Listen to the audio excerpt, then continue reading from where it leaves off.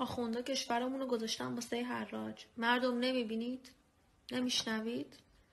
به چین خاک میده به روسیه دریا میده به کانادا ثروت میده به فلسطین پول میده به یمن اسلحه میده به عراق برق میده به لبنان ناموس میده به ونزوئلا بنزین میده به ترکیه گاز میده و به سوریه موشک.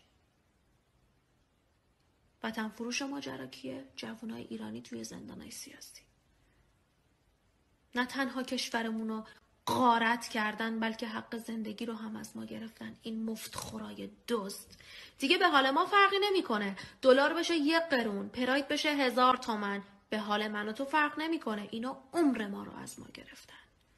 اینا جوونی ما رو از ما دزدیدن. اصل نسلشون رو باید منقرض کنیم.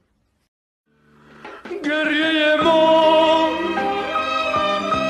فریاد